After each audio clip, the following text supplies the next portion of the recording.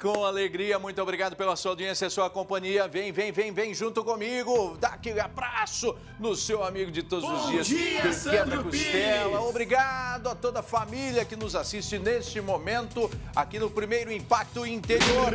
O homem da ripada. Isso mesmo. Tamo junto. Vamos até o meio-dia hoje, segundona aqui pelo SBT Interior, a notícia que pede passagem e eu agradeço a sua companhia nesta segunda-feira, 18 de dezembro de 2023, uma semana para o Natal. Hoje, dia do museólogo e também dia internacional dos migrantes. Vem junto comigo porque a notícia está no ar. Você que está almoçando, você que vai almoçar um pouquinho mais tarde, já almoçou, está fazendo quilo, esteja junto com a gente. A gente abre o primeiro impacto interior de hoje falando dos estragos do vendaval, da tempestade de ontem aqui em São José do Rio Preto. Uma igreja no bairro Redentora foi interditada devido aos estragos. Melissa Alcântara está no local e traz todos os detalhes para gente. Bom dia, Melissa. Oi, Sandro. Bom dia para você, para todo mundo que está assistindo a gente. Olha, realmente um cenário desolador e eu já vou começar explicando que a gente está aqui sem capacete porque estamos bem embaixo de um arco. Será que o Silvinho consegue mostrar esse arco que nos protege aqui de qualquer perigo? O coronel da Defesa Civil está aqui com a gente, então diz que nesse local a gente está seguro, mas não pode avançar ali onde fica, ficam os fiéis, onde fica o público da igreja, porque realmente foi tudo destruído, viu, Sandro? O, telhado aqui praticamente é, ficou é, todo esburacado, cheio de falhas, o madeiramento todo comprometido e por essa situação a igreja foi completamente interditada. Agora todo o trabalho é, de avaliação com relação à estrutura, com relação ao telhado, mas por enquanto, ela fica então interditada por conta dessas fortes rajadas de vento na tarde de ontem aqui em São José do Rio Preto. Uma chuva que chegou de repente, foi rápida, mas que fez aí realmente muitos estragos, principalmente aqui nessa região da cidade. A gente observa aí o que restou aqui na igreja, toda a sujeira, os pedaços eh, de telha. Era por volta de 5 horas da tarde, um horário próximo aí do horário da missa. Graças a Deus, não é? Não foi no horário da missa, então por isso eh, não teve nenhum ferido. Mas o padre Jarbas, que é o pároco aqui, o responsável pela igreja, ele estava me contando que duas pessoas tinham acabado de chegar aqui na igreja para começar aí os preparativos para a missa e essas duas pessoas foram surpreendidas por essa ventania, não é, padre? Conta pra gente o que aconteceu. Bom dia. Bom dia.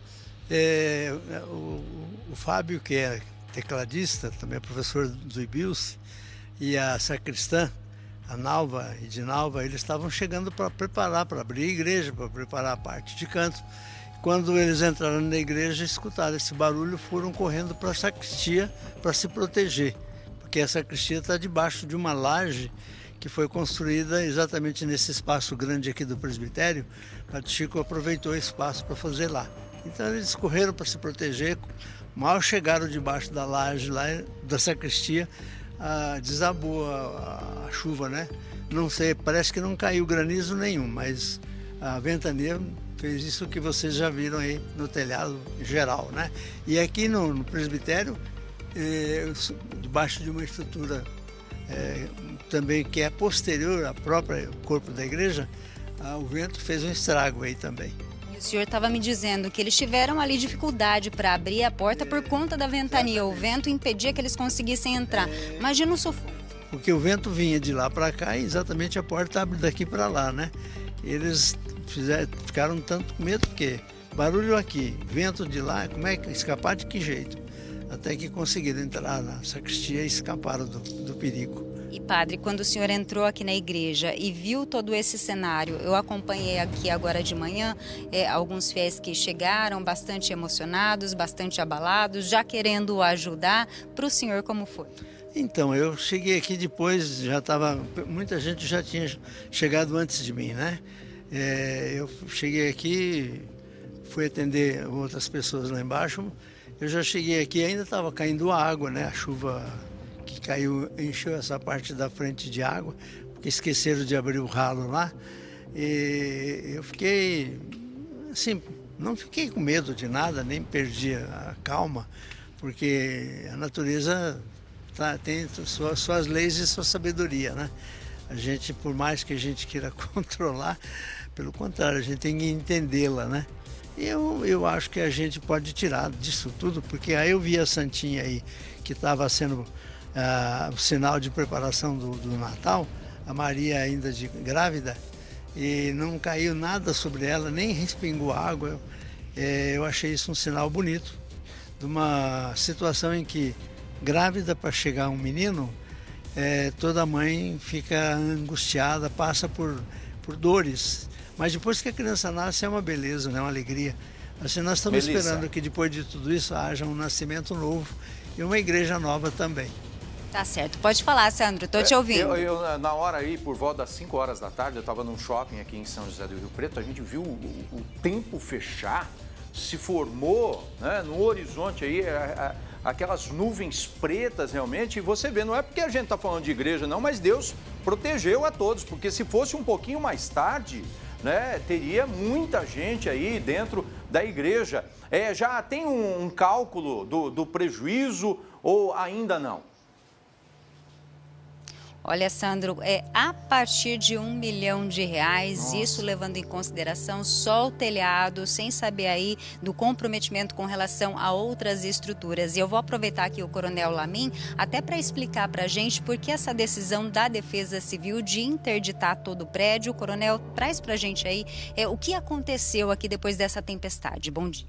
Bom dia. Bom, é, o cenário é mesmo, muito triste mesmo, né? O padre Jarbas já é, disse e, e, enfatizou, mas é, nós vimos um fenômeno acontecer em Rio Preto ontem, né, como muito tempo não, não acontecia. A tempestade, o problema não foi a chuva, porque nós aferimos né, a precipitação, deu 17 milímetros, que é uma chuva razoável, muito tranquila. Mas o problema foram as rajadas de vento que se seguiram né, após a, a chuva e causou esse estrago todo. Ontem nós estivemos aqui, né, fazendo uma vistoria preliminar. De imediato já constatamos que havia a necessidade para a segurança, né, dos fiéis que estavam até chegando para a missa. Então interditamos, embora não tenha sido todo o telhado comprometido, mas a parte que comprometeu há riscos ainda, né? Porque há muito material de madeira, telhas penduradas que são riscos que podem cair a qualquer momento. Então a Defesa Civil interditou, estamos aqui desde a manhã, né, das 7 horas da manhã, enquanto o prefeito Edinho também esteve aqui prestando a solidariedade aos padres né, e todos os fiéis obreiros que estavam participando dessa reunião para ver as medidas, né, os procedimentos a partir então para haver uma liberação, um termo de desinterdição da Defesa Civil.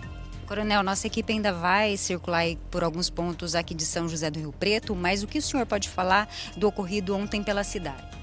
Bom, em primeiro lugar, eu quero falar né, para os seus uh, ouvintes, né, os seus é, seguidores aí da, da Band, que não houve, do SBT, desculpa, que não houve é, vítimas, né, não houve registro de vítimas. Isso é uma grande coisa, né? Mas foram assim danos materiais com quedas de muros de residência é, muitas árvores caíram né, no, na via pública, as equipes de emergência dos bombeiros, a própria Secretaria de Serviços Gerais uh, e também muitos fios elétricos né, caíram por conta dessas árvores. Então, desde ontem, as equipes também da Companhia de Energia estão atuando com um trabalho é, duro, pra, é, pesado também para restaurar esse serviço essencial.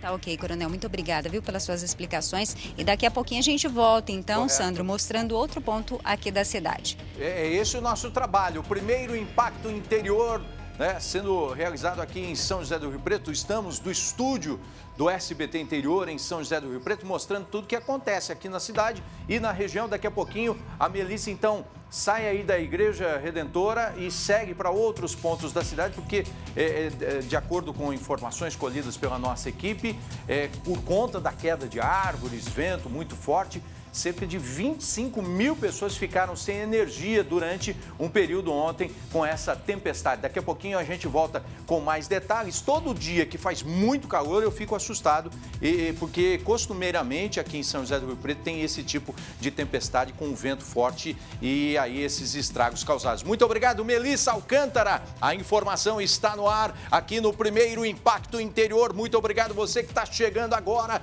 para almoçar, está aí no refeitório da empresa, está no restaurante. Estamos juntos porque a notícia pede passagem aqui no SBT Interior.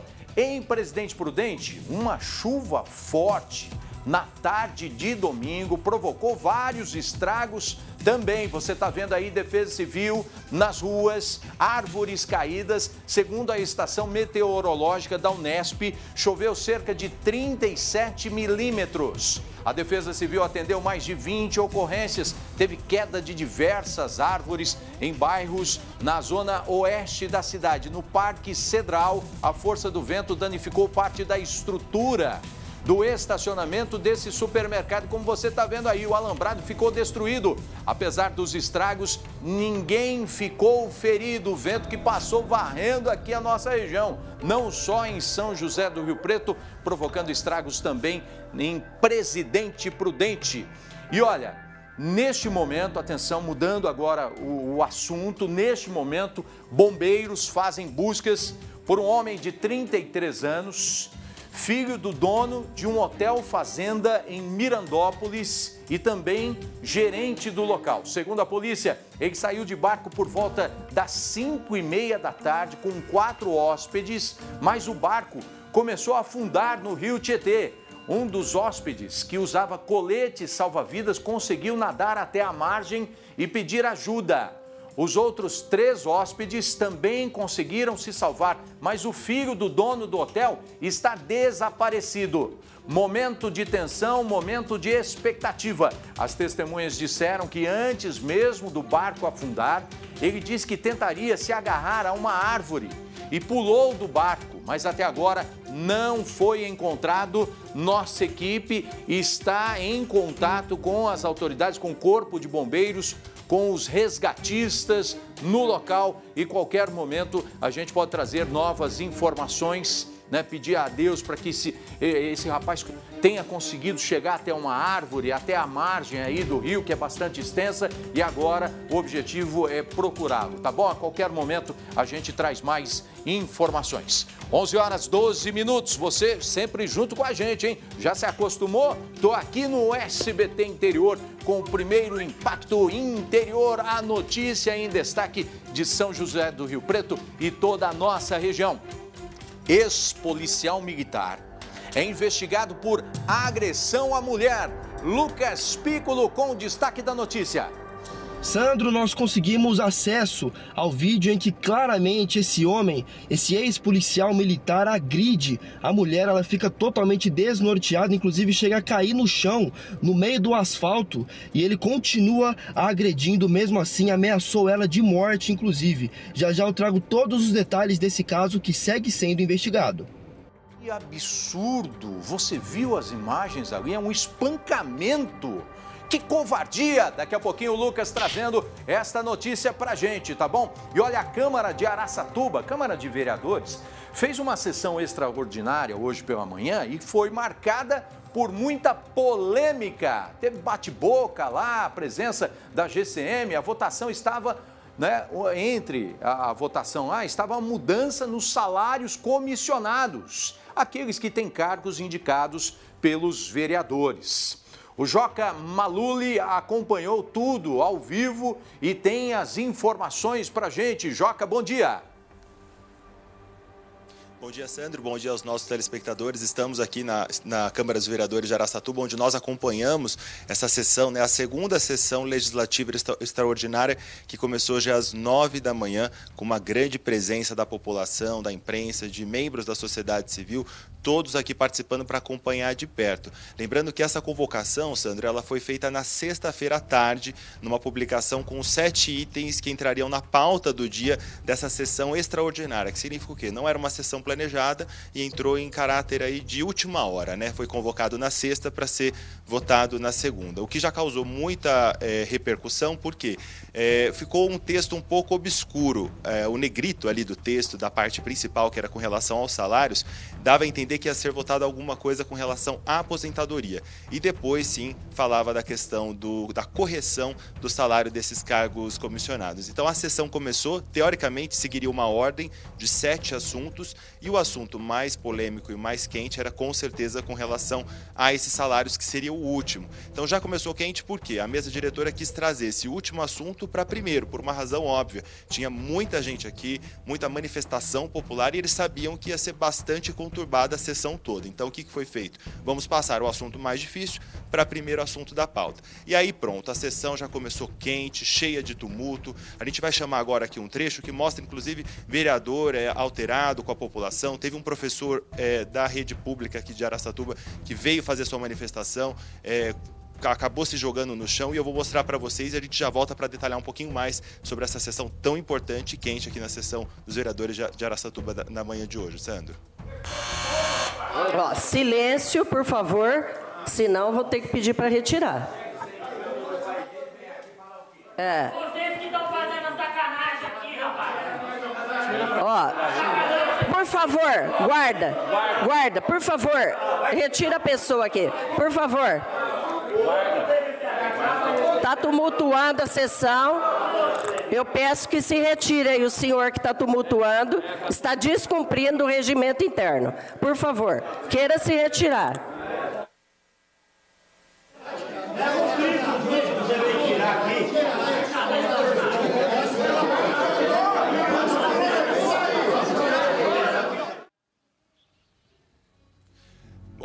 Pode acompanhar, você viu, né? É, eu já acompanhei, nós já acompanhamos outras sessões, eu nunca vi um efetivo tão grande da Guarda Civil Municipal, obviamente para dar segurança para as pessoas, mas depois dessa cena, inclusive, ficou difícil acompanhar, porque todo esse corredor aqui, ó, foi tomado por um batalhão mesmo da Guarda Civil. É, a princípio não seria para coagir, era para manter a ordem, mas sem sombra de dúvidas, essa enorme presença acabou sim dando uma sensação de, de, de, de que as pessoas deveriam é, pensar duas vezes antes de falar. Agora, sobre o projeto, Sandro, o importante dele é o seguinte: é um projeto que fala sobre o salário de diversos servidores é, aqui da Câmara, desde diretor de finanças, administrativo, diretor de redes sociais, e o que causou comoção e, e, e, essa reação da população é porque eles são salários de 17 até quase 22 mil reais. Só que o ponto é que as pessoas, esses servidores já recebem esses valores, recebiam por meio de gratificação, inclusive teve uma votação recentemente aqui na Câmara que aprovou, mas o Ministério Público derrubou. Ele eh, entendeu que não estava correto a forma do projeto e agora voltou esse projeto para fazer essa correção. Segundo alguns vereadores que a gente conversou, é, se não fosse aprovado, essas pessoas já recebem, passariam a receber menos de um terço do que estão recebendo. Então causou muita é, repercussão, realmente, que são valores é, enormes, né, super salários, mas que de uma certa forma quem defende, defende que essas pessoas já recebem e estava só fazendo uma correção de salário, Sandro. Correto. A gente vai ficar acompanhando, é lógico, a população tem o direito de, de reclamar, de, de colocar a sua opinião, né? Tomara que o andamento seja mais tranquilo aí e que seja um melhor para a população, né? E que saibam aí gerir bem o dinheiro público. Muito obrigado, Joca, pelas informações. A gente vai dando sequência aqui com o primeiro impacto interior. Você sabe, você pode participar com a gente através do nosso WhatsApp, é o 17 981278656. Pega o celular aí, manda uma foto pra gente, mande uma mensagem, só que você também pode mandar sugestão de reportagem, um flagrante Fez algum flagrante? Chegou até o seu celular? Manda aqui pra gente com informações básicas e depois a, a nossa equipe vai atrás, né, para apurar certinho. Tem uma reclamação aí de bairro, algo que esteja acontecendo na sua cidade? Filma lá com o celular deitadinho, manda a boca no trombone desce a ripada mesmo. Vamos apontar lá qual é o problema e cobrar as autoridades, porque este é o canal de comunicação entre a população e aqui o nosso primeiro impacto interior. E se as autoridades não derem conta do problema, ó, eu desço a ripada, meu amigo. Vamos lá, vamos sempre junto, viu? Olha, nós vamos por um intervalo comercial, daqui a pouquinho a gente volta. É só para dar um respiro aqui. 11 h 19 nós vamos falar sobre o, um dos bandidos que foi baleado pelo comparsa durante uma tentativa de assalto a uma empresa aqui no Jockey Club em São José do Rio Preto e morreu. Daqui a pouquinho mais informações para vocês. Até já.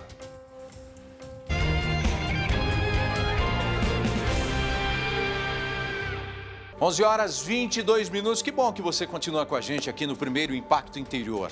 Vocês lembram daquela tentativa de assalto em uma metalúrgica lá na Estância, qual o nome da, da, da estância? Fica perto do, do Jockey Club, né? Bairro conhecido aqui, bairro inclusive de muitas chácaras, mas tem alguns comércios, algumas indústrias, né? Dois eh, homens foram lá para eh, assaltar um empresário e a mãe dele que estavam chegando eh, de, de, caminhonete com um dinheiro que haviam sacado do, do, do posto bancário. Né? E um deles, na, na hora da confusão lá, um deles acabou baleando o outro.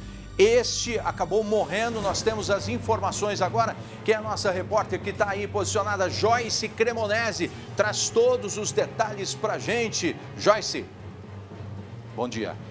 Bom dia, Sandro. Ótimo dia para todo mundo que está acompanhando a gente. É isso mesmo. Esse homem permaneceu internado aqui no hospital de base por quatro dias, sob escolta policial. Ele acabou sendo ferido, Sandro. Ele levou um tiro nas costas e um tiro também na coxa. E além disso, né, ele ali durante toda a confusão, ele tentou fugir logo depois é, que recebeu aí os tiros, né, que foi atingido. Ele tentou fugir, mas funcionários dessa metalúrgica conseguiram deter esse homem. Ele também acabou acabou ali sendo agredido e depois então de passar por tratamento aqui no hospital de base, foi atendido, mas não resistiu aos ferimentos, viu, Sandro? Toda essa história ainda continua em investigação, já que, como você disse, né, eles chegaram no exato momento em que mãe e filho estavam entrando na empresa com um malote de dinheiro. Então há aí a suspeita de que pessoas possam, é, mais pessoas estejam envolvidas nesse caso, que continua em investigação. E o outro criminoso de 55 anos que foi aí quem estava armado,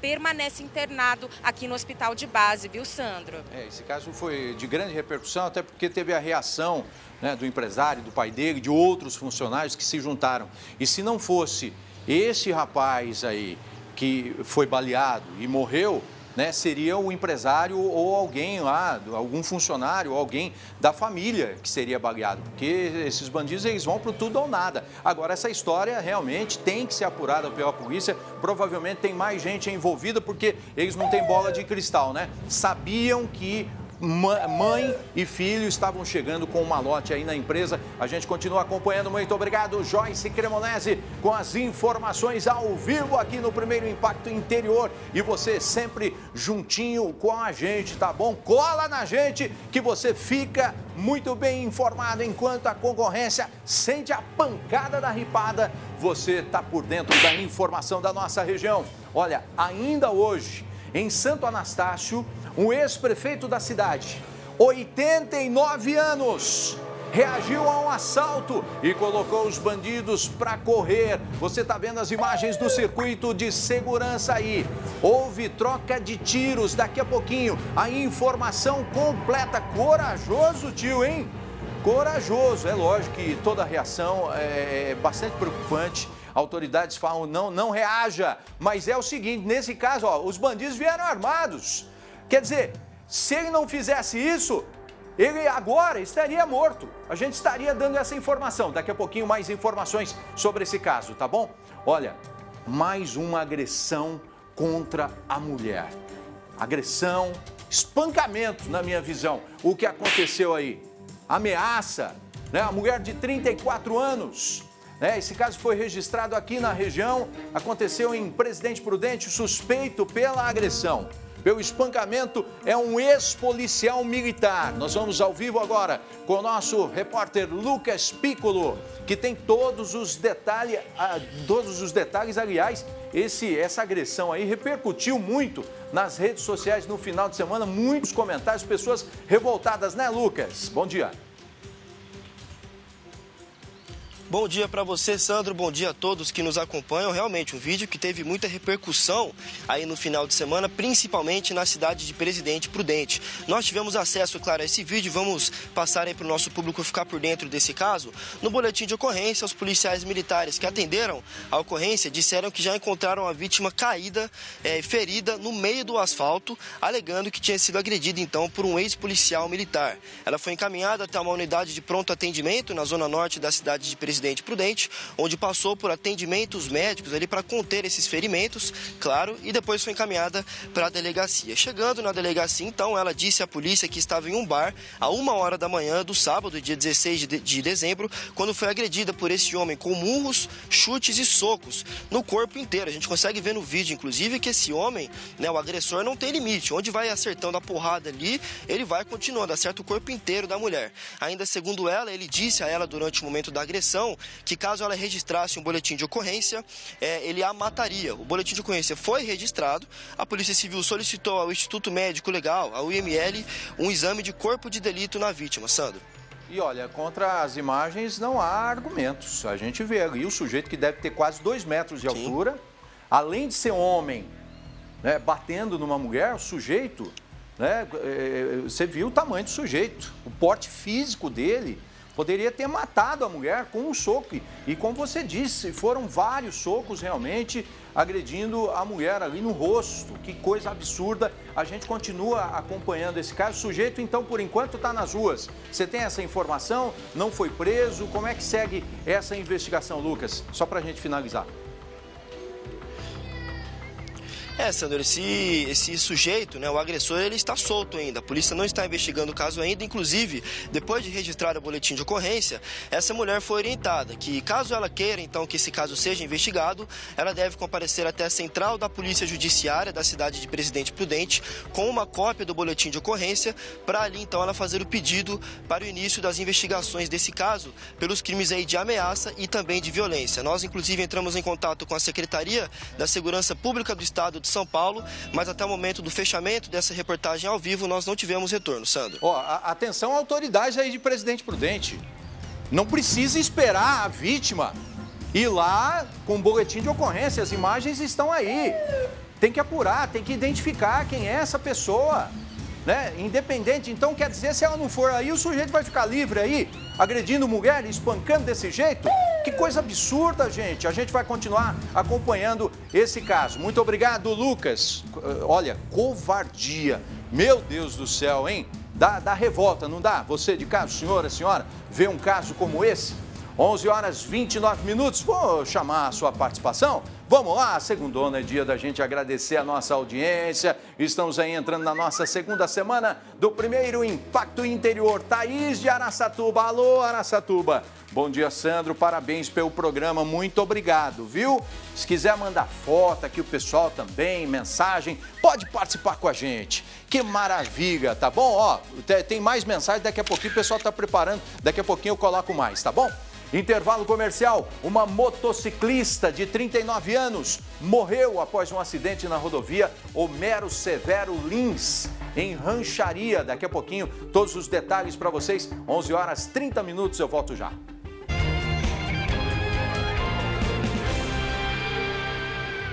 11 horas 33 minutos, estamos de volta com o primeiro Impacto Interior. A notícia que pede passagem, você enquanto almoça, a gente vai levando de bandeja o seu cardápio, né? E este é o prato principal.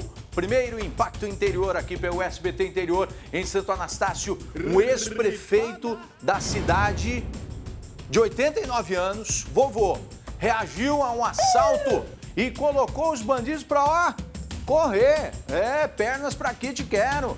Houve troca de tiros. Vamos voltar a falar com o Joca Maluli, né, para ele contar como é que foi esse caso aí, se teve alguém ferido, levaram alguma coisa. Joca, é contigo. Quase que uma cena de filme, né, Sandro? Quase inacreditável pensar que aconteceu isso e que ninguém ficou ferido. É, o ex-prefeito, né, já tem 89 anos, estava sentado ali na varanda de casa, uma casa com esse, com esse aspecto de casa tranquila do interior, né, com muro baixo, grade baixa, estava sentado ali naquela cadeira de varanda, a esposa dele também, uma senhora ali próxima dele, tudo muito tranquilo, quando de repente esses dois homens vêm caminhando, né, é, próximo da casa, um deles já rende a esposa e o outro também pula o muro e acaba tentando render o ex-prefeito. Mas o ex-prefeito já estava ali na posse de uma arma, não sei se por saber que a casa dele está um pouco mais exposta ou se ele tinha algum tipo de ameaça, enfim, e ele já recebe com tiros esses dois criminosos. E aí foi uma troca intensa de tiros, segundo as informações que a nossa equipe apurou com familiares. Ali na casa estavam o ex-prefeito, a esposa e uma neta, que não aparece nas imagens do circuito fechado de televisão, mas que estava dentro da casa. Graças a Deus é, ninguém ficou ferido, mas o relato é de que tem mais de 10 tiros ali é, na casa né, do ex-prefeito. Então foi um, uma cena aí bastante impactante. É, ninguém ficou ferido, o prefeito, inclusive, teve que pagar fiança por porte ilegal de arma, apesar de ele estar com a arma ali, pelo visto ele não tinha autorização para estar portando essa arma, mas no fim acabou sendo ali quase que um, um guerreiro, né, um vitorioso, mas é um ponto muito importante, porque assim, não, não, se deve né, reagir a esse tipo de assalto. Graças a Deus deu tudo certo, ele acabou colocando os bandidos para correr, mas não é o que se recomenda, né, Sandro? É, agora é com a polícia, tentar aprender, porque eles não foram presos, né? tem que prender, de repente pela imagem aí, identificar a população, ajudar também, denunciar, é, porque é a sensação de insegurança que foi até para cidades menores. Conheço Santo Anastácio, uma cidade agradável, típica do interior, mas que infelizmente perde a sua tranquilidade. Imagine só, você está sentado lá na área né, e de repente dois bandidos armados chegam lá, colocam um revólver né, apontado aí para a cabeça, com neta. Imagina só que desespero desta família. Né? Graças a Deus, nesse caso, né, ninguém ficou ferido, e eu falo, quando eu falo ninguém, ninguém da família. Porque o bandido, se tomasse o tiro, o problema é dele, ele procurou. Agora, a população não, tá lá, né? Tá lá é, no, tomando uma fresca, é algo absurdo. Então ninguém da família acabou sendo ferido. Né? Agora, o, o Joca, é o segundo caso de reação que a gente mostra aqui. É, em menos de uma semana, semana passada, a gente mostrou a reação de empresários né, aqui de, de, na metalúrgica aqui em São José do Rio Preto. Agora tem esse caso também lá de Santo Anastácio. A regra é nunca reagir, porque senão, né, infelizmente, os bandidos podem acabar tirando a nossa vida, né? É exatamente isso. E para responder a sua pergunta e poder dar uma orientação né, mais precisa, embasada para os nossos telespectadores, eu estou aqui com o doutor José Roberto Sanches, advogado, especialista em segurança pública. Doutor, obrigado por falar conosco, por dar esses esclarecimentos. O Sandro está ali no estúdio, é, confirmando, né? Não se deve reagir, né? O que aconteceu ali foi uma exceção à regra, é isso? Sim, bom dia, bom dia a todos. Sim, certamente uma exceção. É, as estatísticas são um pouco vagas, mas em torno de 10 a 20% apenas dos casos de reação eles são bem sucedidos como esse. A maioria das vezes, a, aquele que sai para roubar, ele sai predisposto e preparado, inclusive, para uma reação das vítimas. E a vítima geralmente é pega de surpresa, por isso, essa inversão nas estatísticas. Né? As vítimas geralmente se dão mal nas reações, em casos de reação como esse. Então, o que fazer, né? É um absurdo a gente ter que ensinar as pessoas o que fazer em caso de um assalto, mas é a realidade, infelizmente, os números né, de criminalidade são muito altos. Então, o que fazer? É ficar quieto, tem que ter alguma interação, tem que obedecer, o celular, porque tem gente que tenta pegar o celular para chamar a polícia também, aí pode assustar os, os criminosos. Claro que cada caso é um caso. Nesse, nesse daí ele, ele estava provavelmente né, é, predisposto já a essa reação e felizmente deu tudo certo. Mas, por exemplo, no caso de, de, de roubos a veículos, a motocicletas, a, a, orientação é não reagir, não acelerar bruscamente.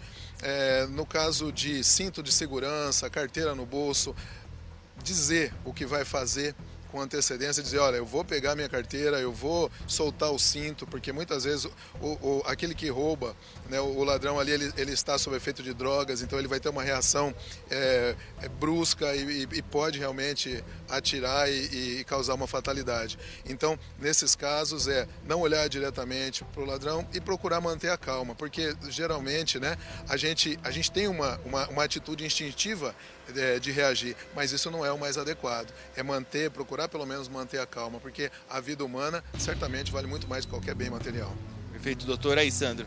Essa orientação né, para os nossos telespectadores, manter a calma, fazer contato o mínimo possível, mas dar satisfação do que você está fazendo para, infelizmente, para não acontecer uma tragédia, né? É, e a gente esperar das autoridades públicas que investam mais em segurança pública, mais policiamento nas ruas, né? mais é, pessoas para investigar os casos, para correr atrás do bandido, colocá-los atrás das grades e aí a justiça mantê-los lá, porque a população já não aguenta mais, né?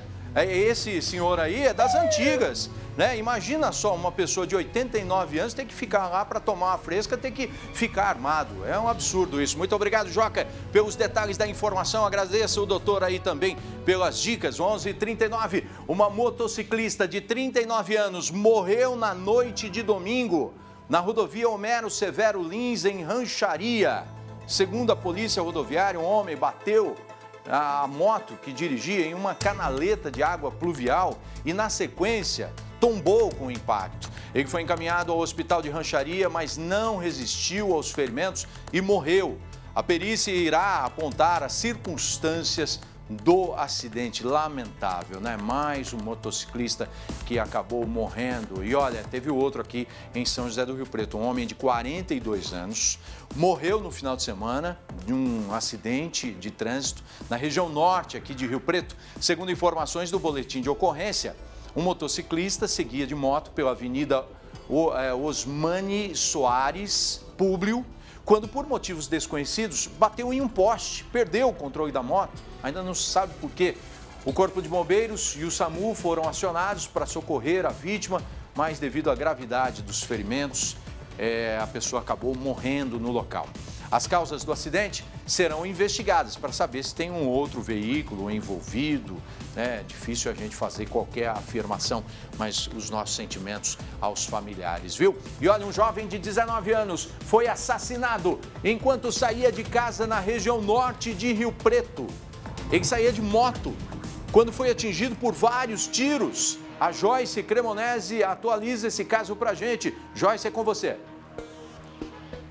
Pois é, Sandro, esse jovem aí de 19 anos, ele estava saindo de casa, inclusive, segundo o boletim de ocorrência, ele teria dito para o avô que ia dar uma volta de moto. E quando ele estava, então, tirando a moto ali da garagem, né, já no portão, então, é, aconteceu aí que parou um carro, segundo as informações, e que esse carro estaria ali estacionado já fazia uns 10 minutos, como se estivesse mesmo aguardando esse jovem sair de casa. E quando ele estava saindo, um homem desceu do carro e aí, então, acabou alvejando esse jovem, o Guilherme Leonel Duarte, de apenas 19 anos. Esse crime foi no Jardim Etempe, aqui em São José do Rio Preto, por volta das 8 horas da noite, um horário ali para o domingo, né, Sandro, de movimento ainda. E fica aí, então, né, o que chama a nossa atenção, Sandro, é que é mais um jovem de apenas 19 anos que foi executado aqui em Rio Preto. A semana passada a gente mostrou um adolescente de 17 que havia permanecido um tempo na Fundação Casa e também um rapaz, se eu não me engano, de 27 anos, também execuções.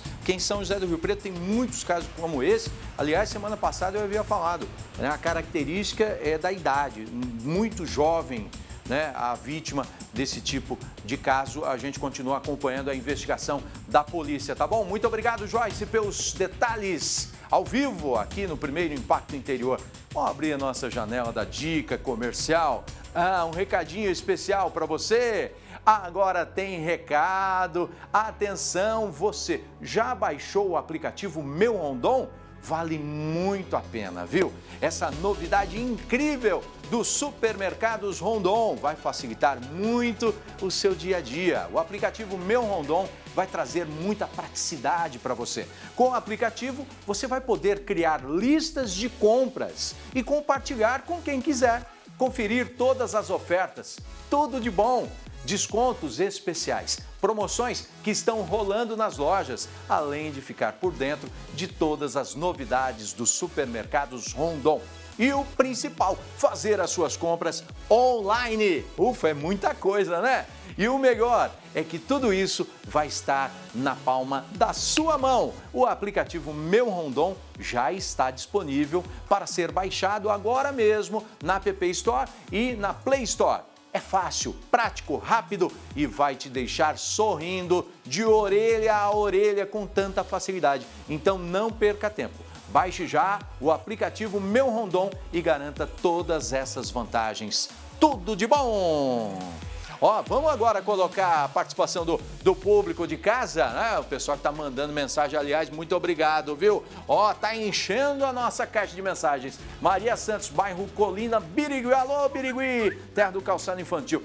Oi, Sandro Pires, tô te assistindo. Manda alô pra mim. Alô, Maria. Vamos lá, mais uma, mais uma. Vamos lá na agilidade, porque tem muitos. Adriano, Valparaíso, bom dia, Sandro, tudo bem? Estamos aqui acompanhando seu programa. Nice Adriano, parabéns, sucesso nessa jornada. Obrigado, Adriano. Silvio Mazaro, de Presidente Prudente. Ô, Silvio, quanto tempo, hein? Tô ligado no primeiro impacto. Uma ótima semana abençoada. Tamo junto, Jardim Colina, lá em Prudente. Ana Maria de Rio Preto. Sandro, tem uma abençoada semana. Tô aqui ligadinha no seu programa. É nosso, é nosso. Vamos lá. É, Arlindo Soares, também de Prudente. Sandro Pires, parabéns pela programação, nota mil, valeu. Vamos lá, próximo, Rita de Cássia de Birigui, bom dia Sandro, parabéns, seu trabalho brilhante, obrigado. Sempre buscando a sabedoria de Deus, né? Flávio de Santa Fé do Sul, manda um abraço. Aí, Sandro, alô, Flávio, aquele abraço que quebra costela apertado para ti, tá bom? 11:45 h 45 continue participando com a gente. O WhatsApp é fácil, 17981278656. Você pode comentar o conteúdo do programa, mandar mensagem e também mandar sugestão de reportagem, inclusive com vídeos. Tempestade em Rio Preto. Vento derrubou várias árvores, a gente já viu no início do programa, né, mostrando a, a igreja aqui na Redentora, mas várias árvores, postes caíram. Né? Aliás, ontem 25 mil pessoas ficaram sem energia durante o período e daqui a pouquinho a gente traz mais detalhes. Até já.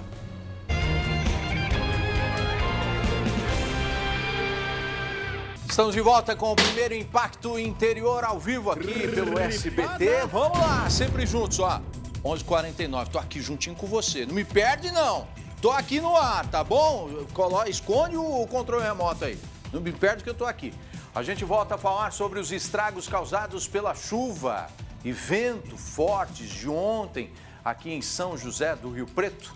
A Melissa Alcântara mostrou a destruição da Igreja Católica da Nossa Senhora do Sagrado Coração da Redentora e agora está em outro ponto, porque ontem, Melissa, né, cerca de 25 mil pessoas ficaram sem energia durante um período, né? Como é que está aí o rescaldo desses estragos, principalmente de muros, árvores caídas? É com você.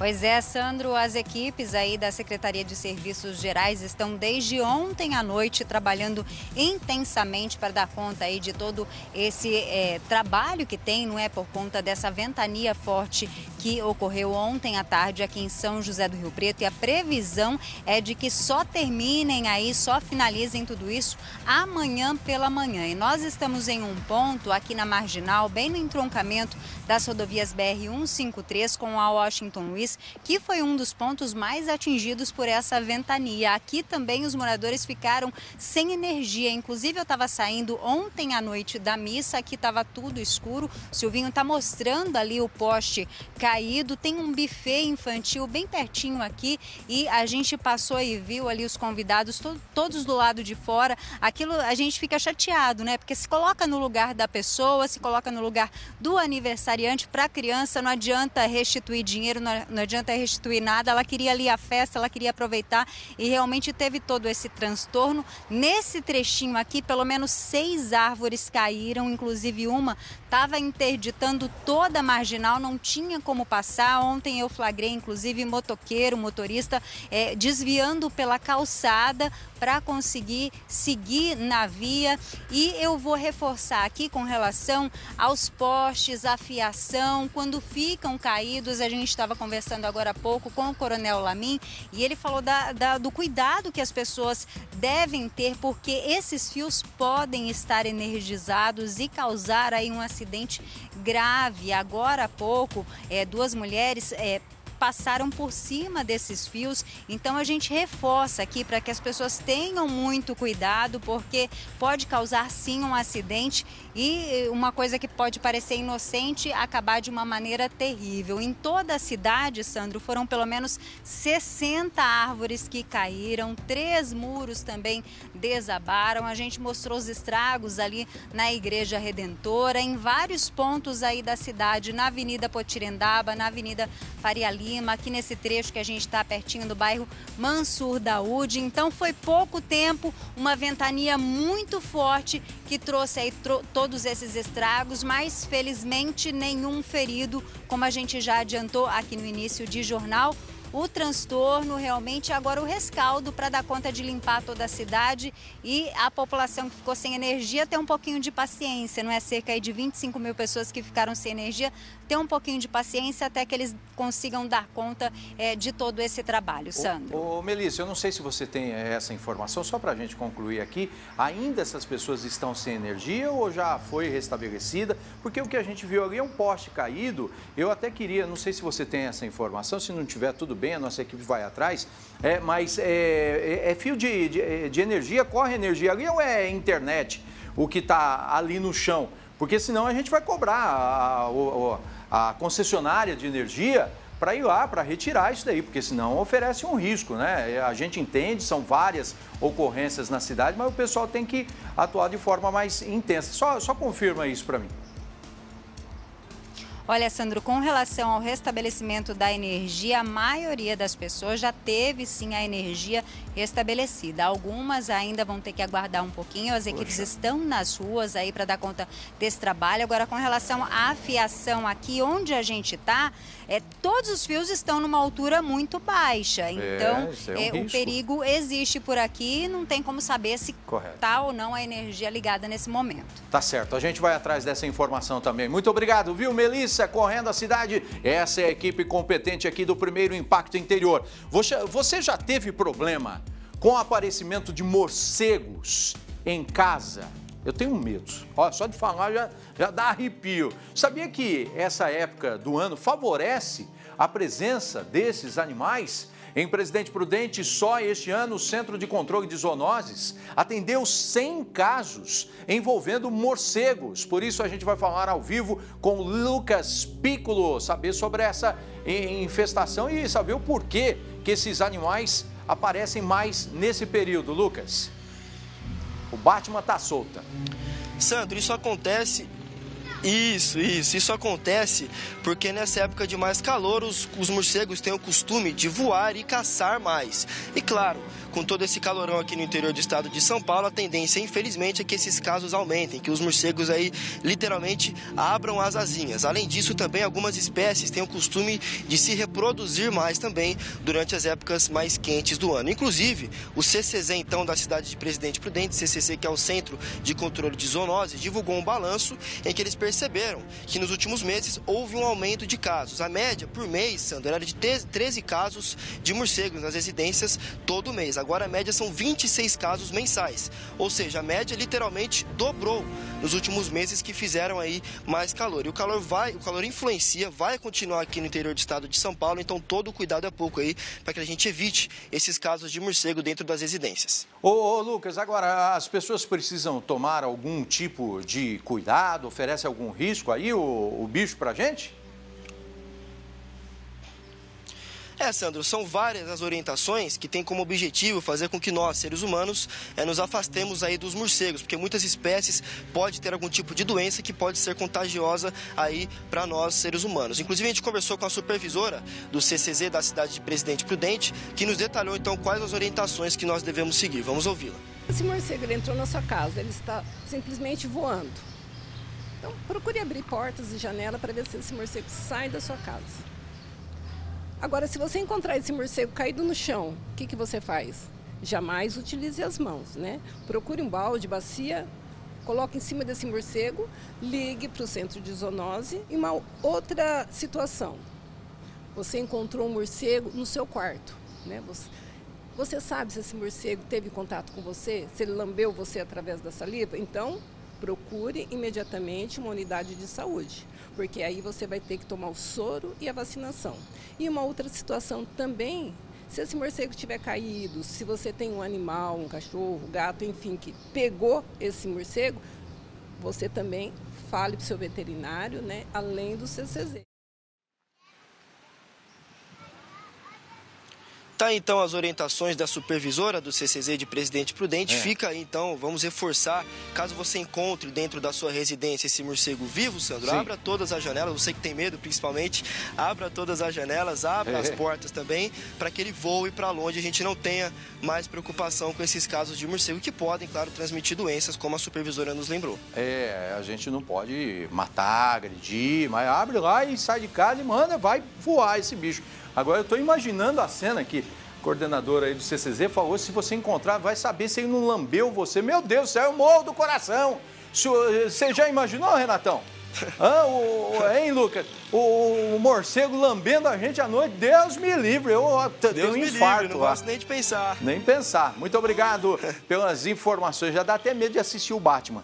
Vamos lá, vamos seguindo. Obrigado, Lucas. Você que está aí em casa, olha, tem mensagem do WhatsApp, o povão participando com a gente. Você sabe que de, de é, segunda-feira nosso programa é menor, é igual um, um coice de porco, é curtinho, mas estamos aqui, é, colocando todas as notícias dentro do, do carro nosso. A Aparecida de Rio Preto, bairro Eldorado. Bom dia, Aparecida. Que bom estar aqui na emissora do meu coração. Olha só. Deus te abençoe grandemente. Obrigado, Valdete de Aparecida do Taboado. Já estamos aí, né? Passando a divisa, já estão lá no Mato Grosso do Sul. Que bom ver você. Temos em sintonia Aparecido do Taboado, sua Valdete. Ô, Valdete, estamos ligados aí junto com a gente. Ricardo de Santo Antônio do Aracanguá, sempre participando. Excelente trabalho. Bom dia, obrigado. Rosalina de Araçatuba, Sandro Pires, eu gosto muito do seu programa, sou sua fã. Obrigado, Rosalina. Beijo no coração. Francisca de Birigui, como sempre, o seu programa tá ótimo, que maravilha.